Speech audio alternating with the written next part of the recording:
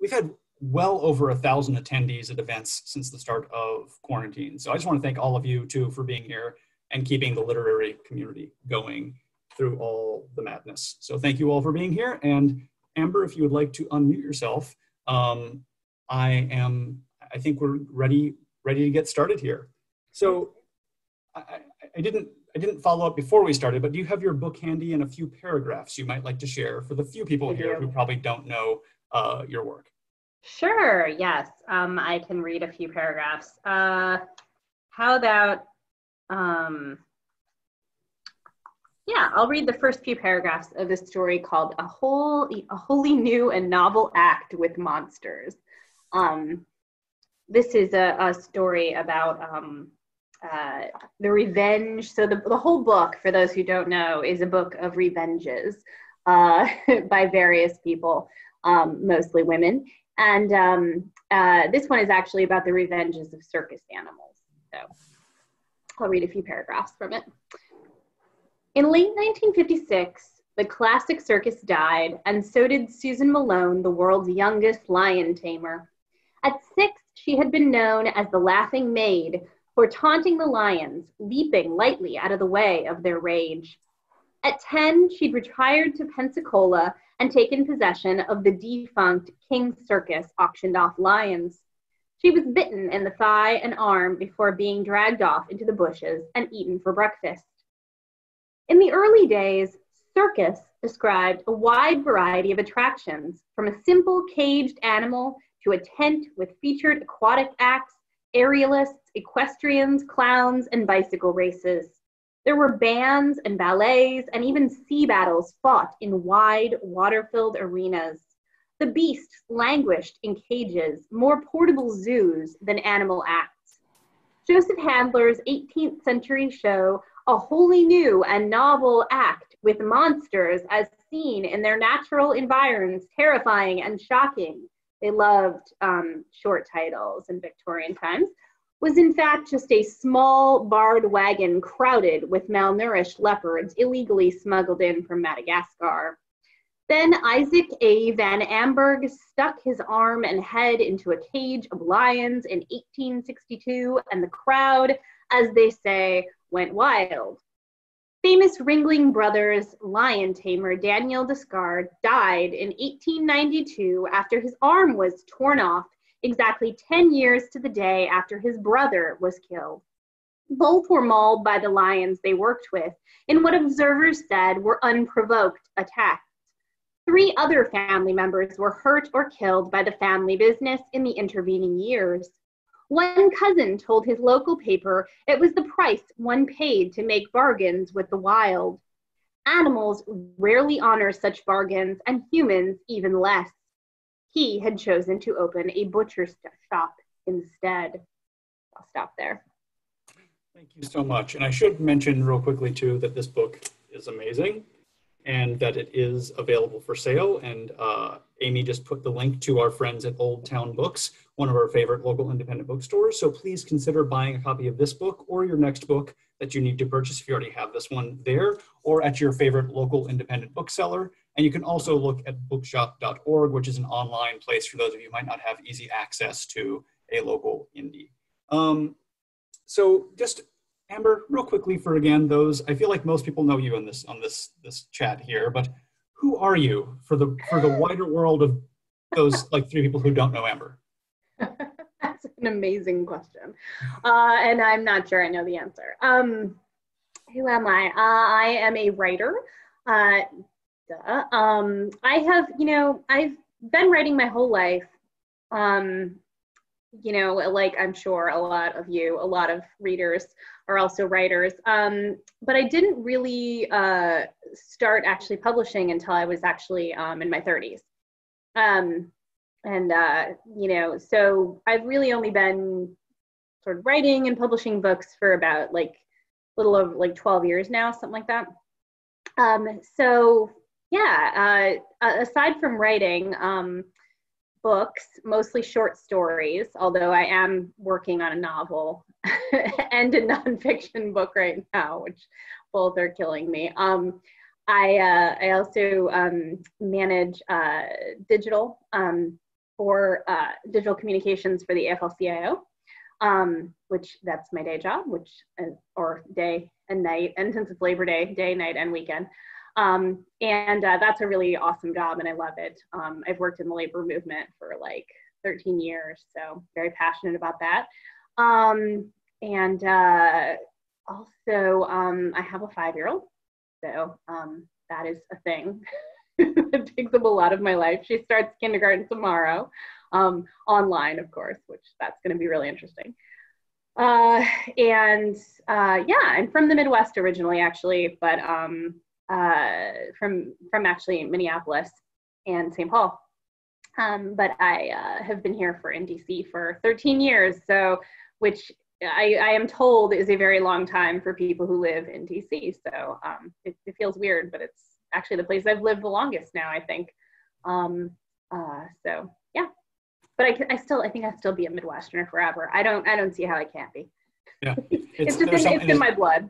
There's some inescapable aspects of our pasts, and I think that I think Midwesterner is one of them. Yeah. Um, so let's let's let's let's move to craft. Let's get to the actual topics of conversation and and I, I, had to clear this term with you beforehand because I didn't want it all to be pejorative, but the term weird fiction. I love weird fiction. I write weird fiction. Uh, my first my story collection, my first book was is a collection of weird fiction. Um, uh, and by weird fiction, I mean the surreal, the fantastical, the kind that borrows elements of genre fiction. Uh, I don't have a, there's no specific definition I'm using with that word. That's why I like weird fiction because it sort of encompasses everything that isn't just realist. Non-realist fiction is also the, the more serious term I use sometimes. So I hear a lot about of discussions about content in weird fiction because it's so easy to focus on what is weird, um, the subjects, the imaginative conceits, but we don't talk quite as much about the craft of writing the unreal and the fantastical. And since I have you sitting here, and it's a passion of mine, and I assume of yours since you do it, I wanted to hit on that a little bit. So, how does a weird subject affect your writing on a more structural level?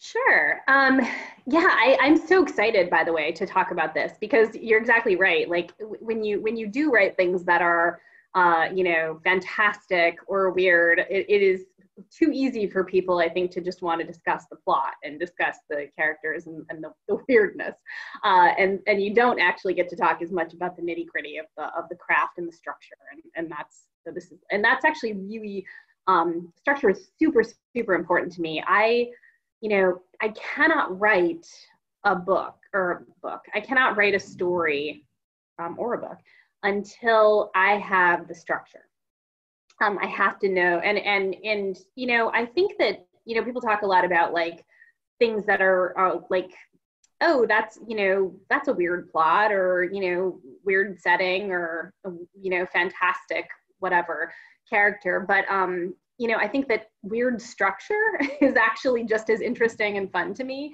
um as as the what's inside of the the story itself um, a lot of my structures, as you'll probably know if you've read my stuff, um, are like uh, experimental or unusual um, in the sense that, you know, it's a form of a list, a form of a menu, a form of a questionnaire, um, you know, whatever it is. Um, I, I like to, or I tell, you know, I have a story that's written backwards, um, you know, things like that. And they're not meant to be uh, cute. They're not meant to be like, haha, look what I've done, you know, with my uh, amazing creative powers. To it's it's more, um, it, it's they're very much in service of the story that they are telling. Um, and a lot of times they're there to balance the story specifically. Um, and what I mean by that is, you know, and, and, this is something I talk about a lot when I when I teach, um, is you know, it's when you have a story that is uh, overwrought in some way whether you know it's it's very odd weird things happen there's a lot it's like very passionate. That was a giant uh lightning. Okay um. I just heard it uh, over here so i heard your lightning. I just yeah. thought it was enormous. Um so you know when you have something that's like a very or you know you have something that's um a very passionate story or very emotional or whatever it is um i find that having a very almost pathologically logical structure, like a math problem or something, really anchors it in a way that um, it, that it, that lets the story not run away with itself or become melodrama. Um, and so to me, you know, I, I, I had, there's always a lot of, I'm never at a loss for interesting ideas or interesting things that I want to write about. But sometimes they sit in my head for months or even years because I cannot find the right structure to balance the idea um, and to and to sort of complement it and tell that story in the best way possible. Um, you know and so um, yeah structure is is really really key for me. So related to structure then too I, i'm interested in how these weird subjects influence language. So is there a language of the weird? You find yourself diving into when you're diving into this unreal subject uh, are you led to fresh language? Are you or how are subject and language related i guess is my question. Yeah i think um i mean i think intimately. Um you know i i think that it, it you know it depends obviously on the pov um, and uh, you know on the perspective um, and the character that you're writing up. You know if you're writing from a character perspective you know who, who that is and what their language is and and and sort of that sort of thing um, is very key. Like you know, I wrote a story, and actually in my last book that was um, about the Benders, which was this like murderous family in the Old West. Um, and uh, and I kept trying to figure out who to write this, like whose perspective to write it from. Um, and I finally, you know, decided to write it from like the son's perspective. But then I had to figure out uh, how to, you know, anybody who's read my stuff, I'm not, a, I, I do not write in a Western vernacular, right? That's not my thing.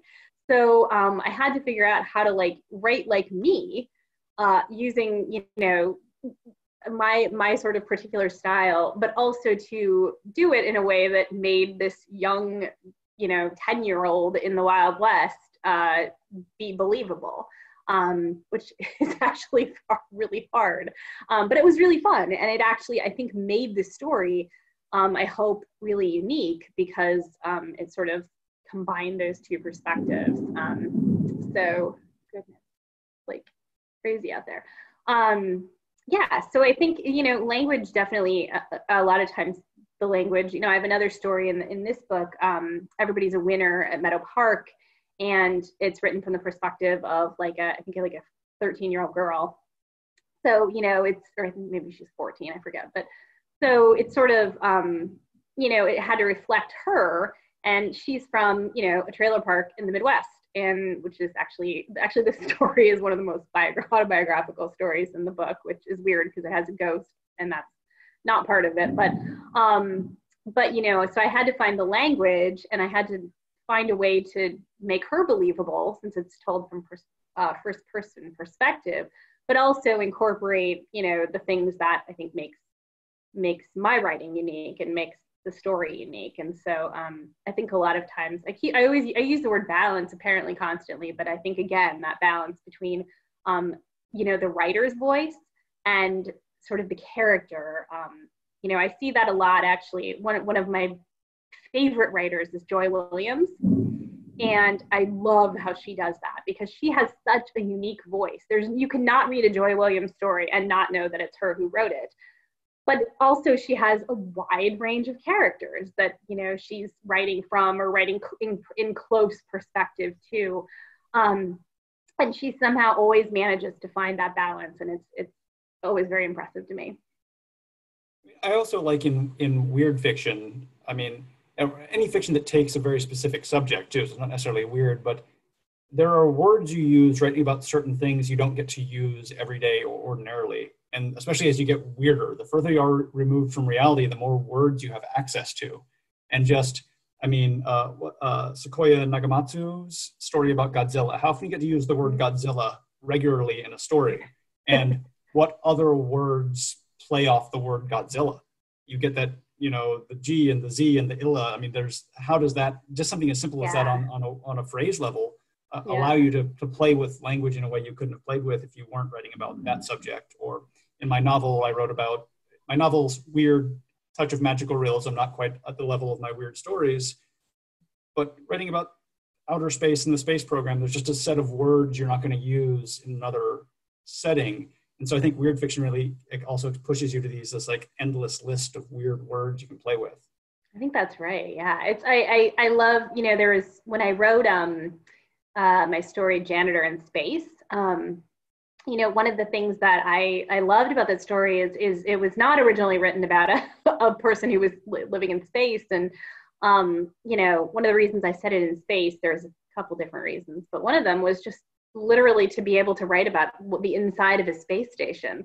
Um, and, and, and, you know, not the story is not in any way about the space station, but to be able to use the language to your point of, of um, and, it, and it was really fun to play that because it was about a janitor in space obviously and so the, the two sort of most descriptive elements were about the space station itself and the sort of sterile uh, cleanliness of the space station and then the cleaning that takes place on the space station and so that like those two things that you wouldn't normally think of together um, were really fun to write about from definitely like just from a pure language perspective so how does this is a I'm winging this question right here, so pardon me for lack of prep.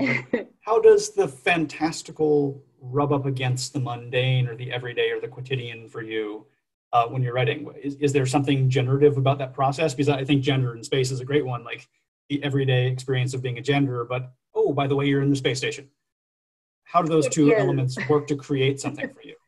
Yeah, it's really generative for me. Um, and, and I find actually that a lot of times, and, and this is advice I give too, is like when I'm writing something that is a, you know, there's a, there's a, sorry, this is going to seem like a weird digression, but there, um, one of my favorite craft books is um, Triggering Town by Richard Hugo.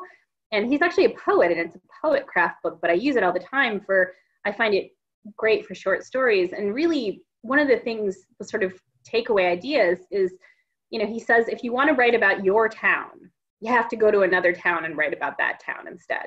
And so, you know, when I when I think about, um, you know, when I want to write about something that I know about or that's close to me, or and that includes, by the way, Winner at Meadow Park, right? Like a lot of that is somewhat autobiographical, and you know, um, some of those things very much are. And so, you know, I wanted to write about my childhood, but you know, write about it in a way that would that would be generative for me and um, so what do you do okay stick a ghost in there and then see what happens you know um, don't write about your town write about a town where there's a ghost um, so uh, I, I, actually um, find that enormously helpful um, especially when i'm when i'm stuck um, and and actually weirdly enough i find the reverse helpful too sometimes you know sometimes uh, as i will get too caught up in the idea that that I am a, you know, fantastic writer. And that's, I don't mean like fantastic, like great, but like literally I write the fantastic. And so there has to be something weird in the story. And sometimes I'll strip it all out and realize, oh, actually, no, this is just a story about like two people, you know, in talking to each other in a New York City apartment or whatever. So yeah, I think both things. I, feel that way, like reading Amy Bender, for example. Like I so think of her as a weird writer in my head, but some of her stories are unsettlingly weird, but there's not any impossible element. Sometimes she's just writing about human experience in a weird way. So I think that's that's a good point that I, I never yeah. thought of that way. Filing that away into the things I've learned in craft talks here at, at the Writer Center. um, so how do you make sure your readers stay grounded? Because I think one of the risks of weird fiction is, especially if someone's not naturally going to love the idea of a fantastical conceit, how do you keep someone feeling that your weirdness is real? so this this is going to sound weird, uh, but um, you know, as you know, I used to be an actor and uh, and and a director in my sort of previous life, and you know, one of the things that I really have taken from that into fiction writing is um, is the idea that you need something to ground you like the the the object of the idea of business for example right they talk about you know when you're when you're on stage you can't just like stand there and deliver a monologue. I mean, unless you're in an experimental play and that's the you know point of it. But you know, most of the time, it, you're in an Edward Albee play or whatever. You're not going to stand there and like just deliver a monologue. You're delivering a monologue while you're holding a glass, while you're you know cleaning up broken glass on the floor, while you're you know doing you, you have business they, they call it, um, and it gives you it gives that uh, touch the, the real world a touch um, or a touch of the real world. So to me that carries over into fiction i'm always trying to give my characters business and and i don't think um, you know i don't write the kind of you know weird fiction i think is different from like solid sci-fi or fantasy a lot of times which come with world building like with really extensive world building. And i don't do that because i it's it's not the type of stuff that i write and i don't find it necessary. But i do think you have to have you have to have some details right? It's it's you have to give your characters business and you have to give give at least a few put at least a few things in the world to anchor it um, whether that's objects or or you know setting or something. So um so you know again for example with janitor in space there's you know there's you don't know what what the whole space station looks like. I don't and you certainly don't know what society looks like or what you know um, even what the other astronauts look like. But you know you know you have an idea because there's very specific things described like you know the buttons and knobs on the you know the instrument panel and the blinking lights and you know the way that the hallway curves and you know things like that. Um, so i think you know to me it's always one of the biggest things that i always see when i look at like student work is um, or early work is you know people sort of what i call float literally floating around in space in stories. They're like saying things and i'm like where are they? Why who are they saying this to? Why like what is even happening? How is this a real person? So you know being able to add those just it's it's like it's like character description right? I don't think you need to have like no this person has blue eyes and blonde hair and is this color and is this weight and is this height? And you know i think you just need to know a few uh, a few things maybe if at all. I mean i don't even describe all my characters but um but if that's all you really need to feel like something is real and grounded is just a hint a couple of descriptions um, and then giving your characters that's great. So did you i guess this this question is is sort of did you start out writing weird fiction but also what other authors of the fantastical do you turn to for inspiration? What kind what are, maybe if there are a few books in particular that you would say if someone was interested in what you're writing also read these things to get into reading and writing about reading or writing in this sort of vein of weird fiction. Sure yeah um yeah i i did you know i did not start out writing weird fiction. I started out writing crappy lorrie moore takeoffs um, that you know ripoffs. Um, and I don't mean Lorrie Moore is crappy. I mean like my stories were crappy um, because I thought you know uh, I, le- I learned I learned a lot about humor and writing humor from from that. So it wasn't like it was valueless, but um, I also learned that that wasn't my thing. That I you know it, and and um, so I you know didn't really have any success until I started writing like weirder fiction. Um, and one of the, but one of the things I've actually kind of done, even with this last book and recently, um, is kind of what you were talking about with Amy Bender, who who actually is one of somebody I would point to as one of my my favorites. Um, is she somebody who oh, there's a flash flood warning apparently. Good thing I'm not outside. Um, so she is somebody who you know really, like you were saying, does this element of is you're like, well, nothing here couldn't happen but it's still weird. And there's still this like sense of of something unusual going on. Um, and and so i've actually tried to move a little more that direction with some of my more recent writing um, and actually the novel that i'm working on too. Um, and i haven't it's actually interesting i haven't decided whether or not there will be anything overt in the novel or if it's all more sort of like could it or couldn't it have happened. Um, uh, but um, that that really interests me um, too in, in sort of the weird fiction mode. And and uh, somebody who i really also like who does that really well is laura vandenberg um, who writes a lot of stories that have this like great sense of like menace and sort of weirdness. She has this new book that just came out i, I, I grab a wolf by the ears um, which is actually like a, ostensibly a book of ghost stories but a lot of the stories aren't exactly about ghosts. They're sort of, you know, but there could be a ghost. It's it's really she's just great. So she's she's really great that way. Um, holy crap, it's crazy out there. Um, the uh, you know, Rion Amilcar Scott is um, somebody who uh, I have long loved his stories. Um, and he does really interesting things because he writes about Cross River, which is a fictional town in Maryland. Um, and so, and it's like the, but that's the place that he writes about. Like all his stuff takes place in this fictional town. Um, so he has created this really interesting world, um, which is just slightly offbeat and like God's kid walks around in it. And, you know, there's like really weird creatures like hell beasts that kind of come out sometimes and you have to sacrifice your family to them. And, you know, but then there's also like a barber shop and, you know, there it's, and he's got a lot of stuff about his own family in there. And it's, so it's a really, it's a really good mix that way, I think. Um, Kelly Link, I love. Um, Carmen Maria Machado, um, you know, the, uh, so many people. Um, uh, that I could name. Helen Oyeyemi is really uh, wonderful um, and does a lot of the sort of like building on fairy tale work that I love too.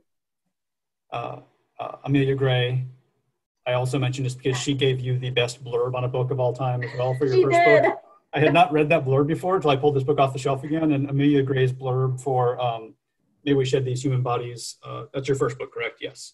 Yes. Um, Amelia Gray's blurb was, this book is amazing, makes Fifty Shades of Grey look like Twilight fan fiction. For those who may not know the joke, that is actually what Fifty Shades of Grey started out as. So, um, and, so and, happy.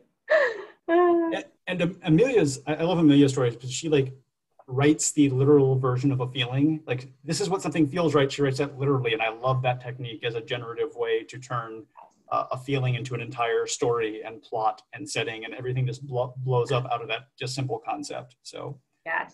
She and, alissa nutting are also um, both like just super funny um, and in this just cutting way that, that, I, that I really love. And and um, you know I try to write humor um, in my own stories um, and you know I find that that approach really interesting so.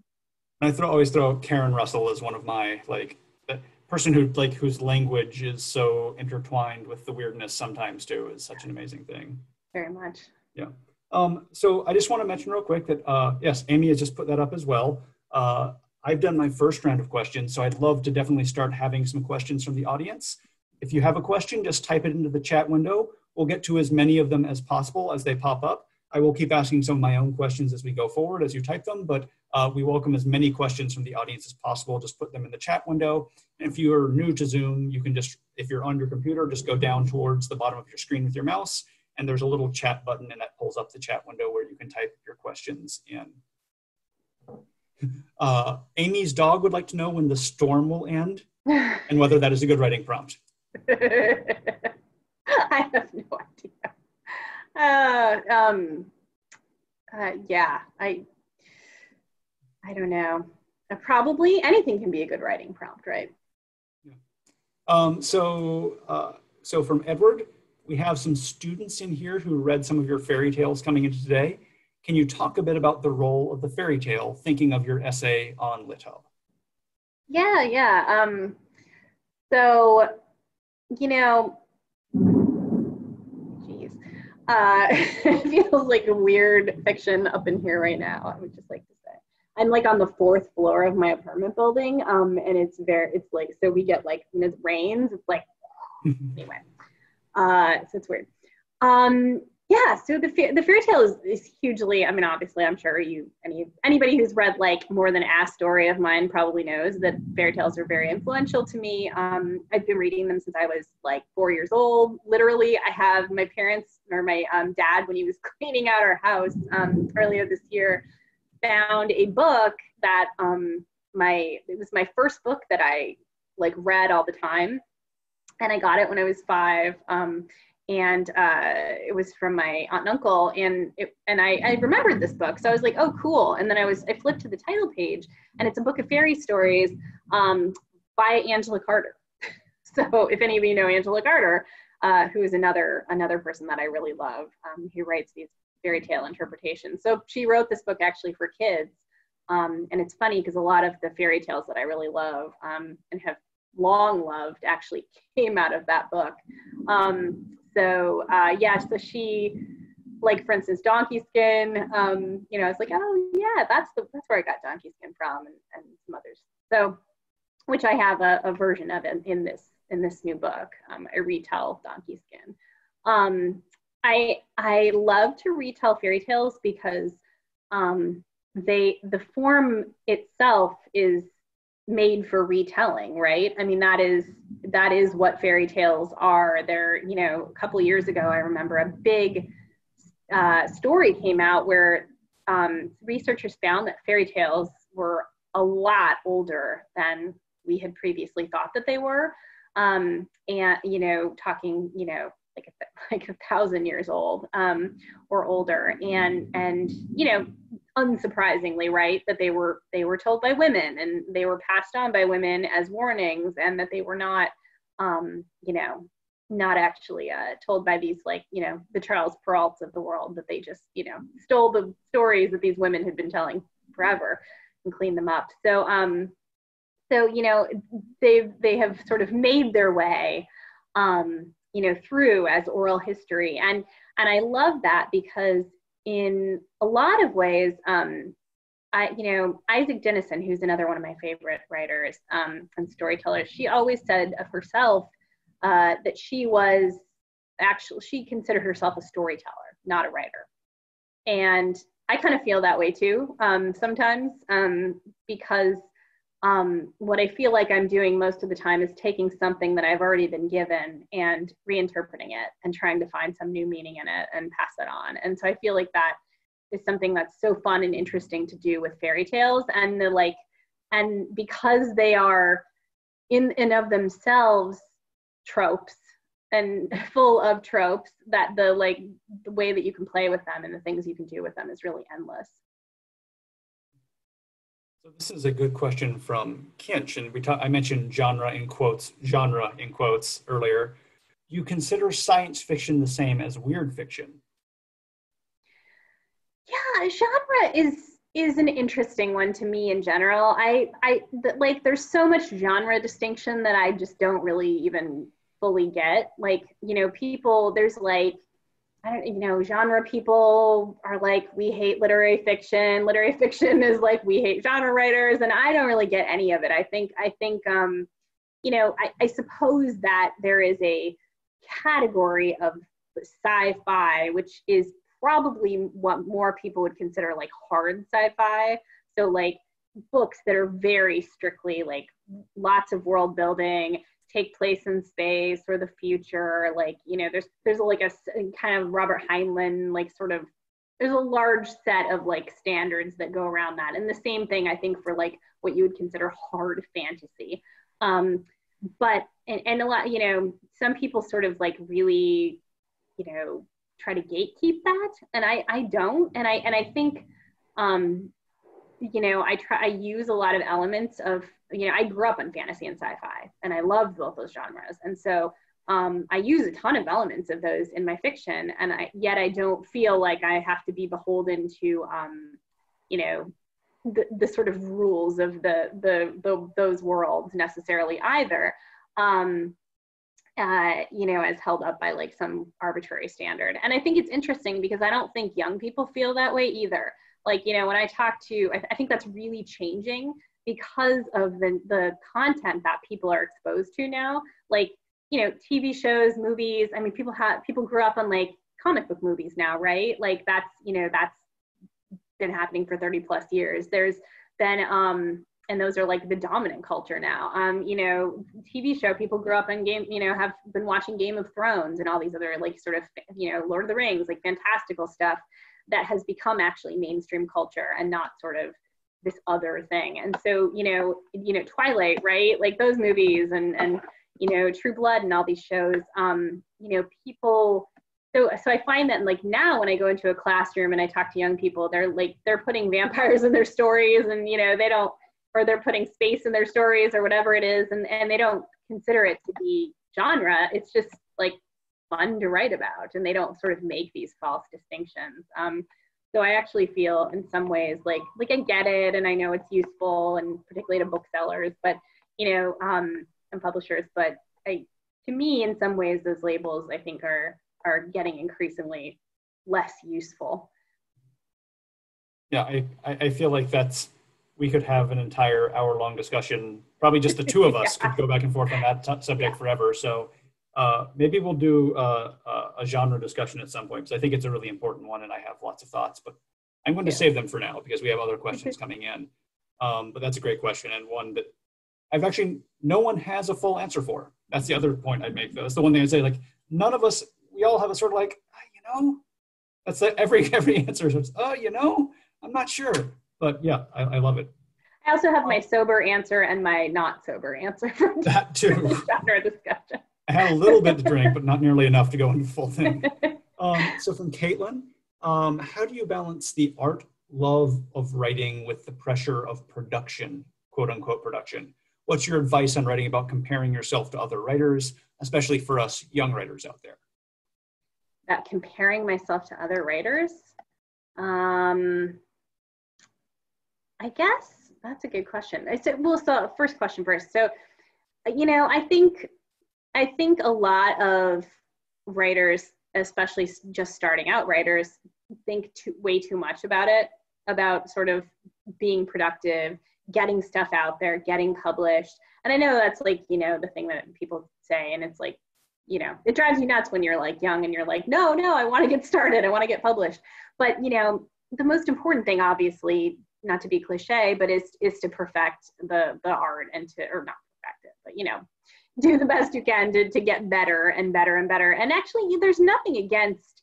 I think it's actually a good thing for people to submit even when they're first starting out because submitting things uh, actually helps you get better because you get lots of rejections at first and you know you sort of start to realize like where you know where things are working where things are not working sometimes helpful editors even give you advice you kind of um, you know and, and every once in a while something gets accepted and it helps you build up your confidence. So it's actually not it's a good process if you feel you're ready but um, but i do think also people are like i noticed that people are just like really concerned with like how much they're publishing and you know i've seen i've seen like twitter threads about you know with people being like 25 years old that are like really worried that they don't have a book out yet. And i'm like oh my god it's you know it's so it's you have you have so long. I mean, there are so many writers.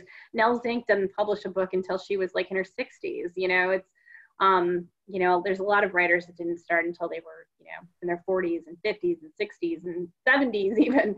So um 80s even. So so you know, I, I there's always time and I I think there's like sort of an artificial pressure to, you know, produce um, and of course, I think part of that comes from too, like I'm on Twitter and you know, I think if you're on social media, you you what you see most of is people going, "I got a book deal," or "I published a story," or "I did this," right? Because you know, you know, it's the kind of stuff that we share, right? But it's it's I think it's um, it gives a really false sense of obviously how well people are doing and how much they're doing. And you know, when I was when I was first publishing, one of my favorite um, websites was actually Roxane Gay's website because she published all her rejections and she got a bajillion of them. And and actually, and and um, you know, there's a couple other writers that have done that too. And those I actually found a lot more um, valuable than all the sort of like, hey, look at me, you know, kind of stuff that people are doing. Like, of course, you want to share the cool things. I do it too, but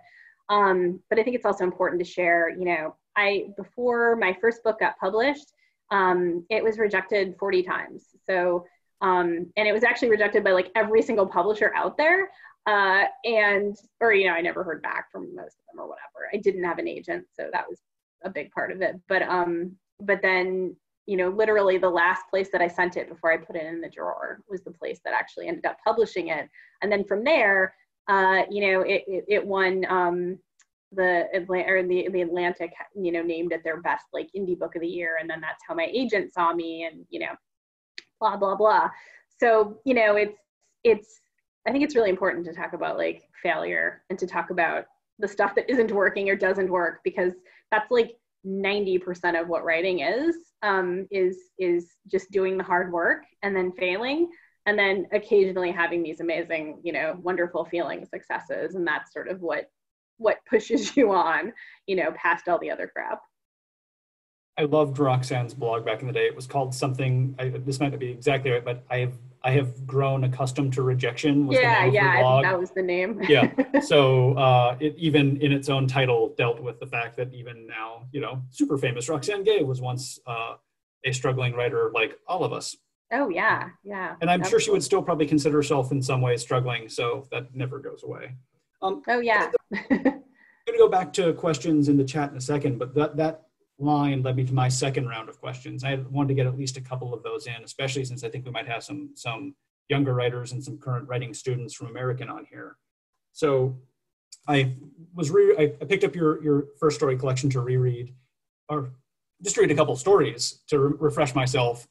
Um, and I ended up rereading the whole thing, so thank you. For, it's not very long. it's not a complaint. Yeah, it's not very long. It That's good. it was like I was sort of like I'm gonna keep going. So yeah, but thank you for that. Um, but I'm inter- interested in the evolution of your of your craft, how you've seen yourself change even from this. So the first book was 2012, I think I looked at the copyright, and the new one was this year 2020. So and then there, I'm sure these stories that were in this first collection probably predated the collection by at least a few years. uh, yeah, and then I had one in 2016 too. Yeah, then the middle book. I had that one sitting here too. I'll, I'll promote that one too. I had the whole, I had the whole ooh ready for. Oh wait, and Desert Places as well, the one with Robert. oh yes, yes, Yeah. exactly. And this is illustrated by Matt Kish, who did the cover of my first book. So we have some. Anyway, Matt Kish is great. You should follow his art. I did not realize he did the cover of your book. That's that's Yeah. really cool. Yeah. It was an illustration for an Ital- Italo Calvino project that they didn't get permission to turn into a thing. The estate wouldn't allow it. So we had this. Oh. So I oh. emailed him and said, "Hey, the publisher's got a check for you if you want me to." Yeah. Anyway, and so he's been fun to follow since then.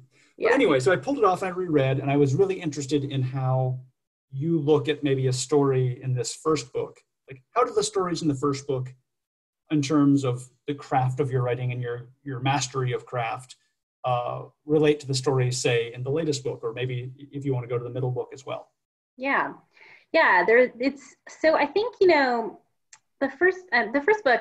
I mean, the the most obvious thing would be to say they're they're mostly very short stories in the first book. Um, I was writing almost entirely flash fiction at the time, um, which I actually, which I love. I love flash fiction. I wish it was taken more seriously, frankly. Um, you know, uh, by sort of the anointed literary establishment, but um, but because I think it's just as serious as poetry or short stories. But um, but I also, you know, like it because when first writers who are starting out, because it's uh, there's so many places that publish flash fiction, and it's a little bit easier to get published and um, really sort of get that confidence and start like meeting other authors, and you know, it's it's it's just really nice that way. Um, and uh, in fact, uh, Tyrese Coleman actually talks about this. Um, she's another author who I really really love um, in the DC area, and uh, she actually recently just hosted a um, taught a class um, just for writers of color um, on flash fiction because it is such a like sort of um, entry point and um, for a lot of writers. So really cool. But um sorry just a little aside there. Uh, but yeah so most of those were flash fiction and then um and then you know uh, they also i think all of those stories or or most of them were quite fantastic um, in terms of subject matter as well. Like I think there were there are maybe a few that are more realism, but um, most of them are have a, a, an element of the fantastic in them. Um, and you know, the second collection actually is a little bit weird because then there there are longer pieces in there, and including of course there's a novella which makes anchors the last like fourth of the book, um, and that uh, and so there are actually quite a bit of longer pieces there. Um, uh, but still, still, I think all falling pretty squarely into the like category of weird fiction. Um, and then uh, the recent book, I think, certainly has a lot of that, but I think it has more um, of that sort of Laura Vandenberg, Aimee Bender, you know, whatever you want to call it, uh, like literature of menace, I guess, where or, you know where there's there's something weird happening and you can't quite, like really put your finger on what it is and it might be supernatural or it might not be but it's definitely a little creepy um, and there's a lot more of that in there and and i think um, intentionally because i um, you know was sort of trying to to get myself out of my comfort zone of of you know you always have to have something um, weird happening in the stories um, to, to get your interest. And I, and I think, um, you know, my interest in character has developed more as well, I think, um, in the last few years. And so exploring character relationships a little bit more. Um, but also, you know, I think just on really like the sentence level, uh, since we're talking about craft, um, you know, one of the things I have noticed is uh, when I was younger um, and just starting out, I, I tended to write this like very ornate prose. Um, uh, and, you know, not, not that it's still not probably tending towards that, but in some ways. Um, but I think I've become a plainer writer a little bit in some ways as I've gotten older. Um, uh, you know, my sentences are probably shorter. Uh, I, I, probably tend to write um, uh, a little more cleanly um, in some ways um, the, and less convoluted, I think, in some ways than I used to. And um, I think that's just, you know, some of that is just preference. Um, some of that is just f- figuring out a, a, different way to communicate, or figuring out that you can still be fancy while while also being, you know, being clear. Um, and you know, and some of that may even be working in communications while you know continuing to to develop my writing career. But um, yeah, I have noticed that as I get older. And sometimes I'm like, oh no, am I? Because you know, I started out as a poet actually, so I'm like, uh, have I like just continued to move farther afield, you know, from from poetry um, as I've as I've gotten you know more comfortable as a prose writer, but um, you know, there's also plenty of elements of that still in there. So. I think I think a key point there for me though is that your identity as a, as a writer is not and probably should not be. I hate to saying should, but doesn't have to be static. Like, oh yeah, it's an evolving yeah. thing, and and it's writing is a practice it's something that every time you do it every time you read you're adding to your your the tools that you're aware of and the skills i think for me the the most striking thing looking back at old writing and new writing is how much better i see the arrangements of letters or hear the arrangement of sounds within a sentence um, and just how my brain just naturally wants to play with those those rhythms and yeah. and, and and inversions of letters and repeated sounds without really trying it and not in a and not in the conscious way. So it's happening in sort of that smoother. Yeah. It ends up being clearer than if I'd tried to do that when I was younger writer, and then yeah. I think um, I think I also read a lot more. Um, you know, obviously when I was younger, the things that I was reading were, um, you know, uh, I, I, wasn't I wasn't really aware yet of like contemporary literature in a lot of ways. So you know, I was reading a lot of things like I mean, I've always been an avid reader, but I would read everything. So I'd read like, you know, Tom Clancy or, you know, um, or like, you know, Anne Rice or whatever. And, and the, you know, they're fine. Well, actually, Tom, Tom Clancy is not a good writer, but, um, or was not, but, uh, Anne Rice is a good writer, but, but they're also like, you know, fairly sort of, they're not really doing anything necessarily super experimental in their writing. And so when I started sort of reading contemporary literature and a lot of, you know, uh, people that were doing things that were more um, out there um, you know, that was that that's just continued to influence me more and more. Um, you know, I I'm always influenced by what I read, probably like way too much, but um, but yeah. So back over to the audience questions. We have a question from Jessica, who's a student at American University, uh, wondering if you could talk a little bit about what inspired you to write "Is this the future? Is the future a nice place for girls?" Pardon me, uh, and also what choice as a writer did you make in excluding the question mark from that statement? I love that question because I yes. fought with my editor about it. Um, I did. So I that story was written for my daughter, basically. Um, you know, I a lot of this a lot of the stories in the collection kind of were because I I knew I wanted to write this collection that was you know about women for for women. You know, very much like I, I'd always been sort of before a little nervous. I didn't want to, you know, you always, I want, maybe I should write a male, you know, narrator because, you know, that's what men like to read or whatever. And then after like the presidential election and everything that happened after, I was just like, you know what, fuck it. Like, I'm not, I do not, I can care less. Like, I'm writing this for women. And, you know, for men if they want to read it too, but it's like, you know, very much, um, the, and, and there's a future nice place for girls was very much for my daughter, who at the time I wrote it was probably three three years old, something like that. And just you know all the like all the, the Me Too stuff was happening, and I just had this like depressing view of the world of you know that she was growing up into. And then i so i've you know like i do often because i'm a weirdo i um you know started reading about and thinking about the middle ages um and going you know what? The world right now is like okay compared to what it used to be like and and um and the middle ages and uh so you know that was sort of a story to comfort me um and the and the the uh, missing question mark was definitely a fight with my editor, um, or with the copy editor actually, um, because uh, you know it's very deliberate. It's it's there, there's two reasons. One, it's it's internet speak. Um, it's it's very much like online uh, writing. Uh, but then also the other one is is in the in the way that it is online writing, it is it is very much a technique that is used, like on Twitter um, um, or social media, to sort of denote something that is um, not quite a question. That is, uh, you know, maybe a little bit of a question, but really more of an ironic statement in some ways. Um, and uh, so I kind of wanted to do both. that makes sense. So absolutely do not write for man, men are over. Um, and uh, so uh, I, I, I, guess I have, I, we're, we're about at the end of the time here, so I'll ask one more sort of two-part question related to the looking at the breadth of your career as a story writer. So what's one thing you would say to young Amber? What piece of wisdom might you impart to young Amber? And this could be related to the second part, which is what's one thing you'd say to an author working on their own first weird stories?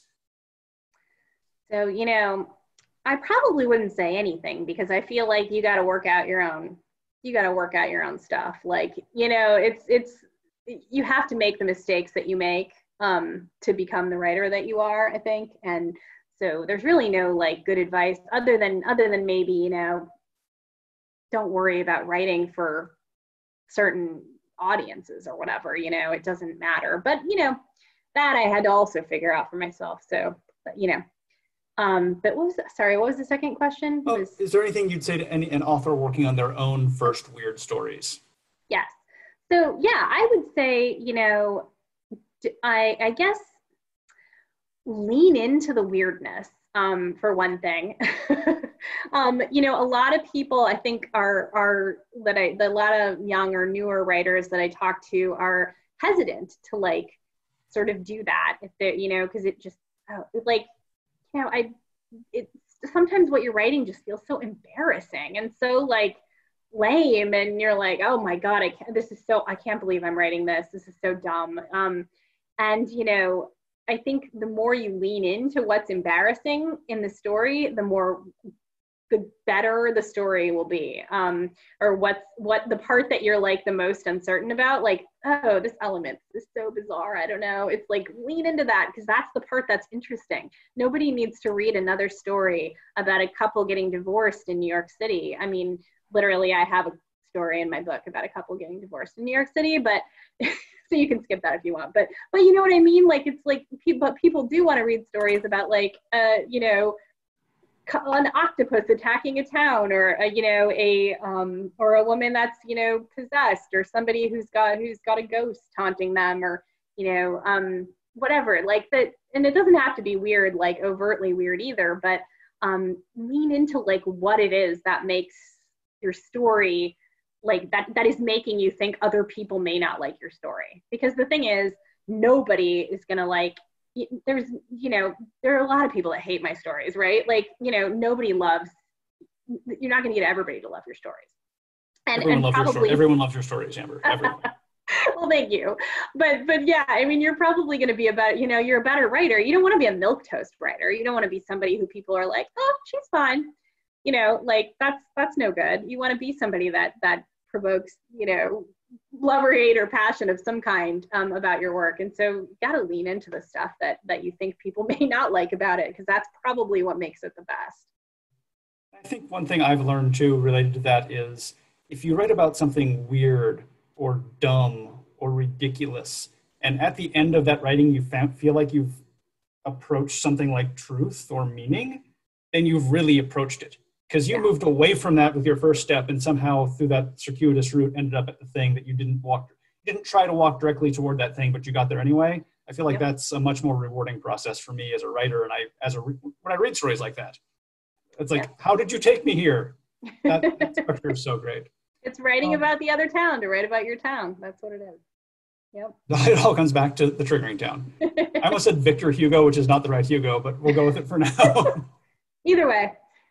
Well, Amber, thank you so so much for for coming out and joining us. Thank you to everyone yeah. who came out and listened. Uh, um, this has been fantastic. I, I, appreciate the questions from the from the audience. I appreciate everyone being here. Please buy a copy of the book if you have not done so already. It's fantastic. It's as rewarding as this conversation was, plus some, um, and all her books as well. If you've not read the past books, uh, it's been really really great. Please go to the Writers Center website, writer.org and that's us for the evening. Uh, I'll leave the chat on for a few minutes after I've stopped recording so we can say all the things we were too scared to say when they were going to be preserved for posterity.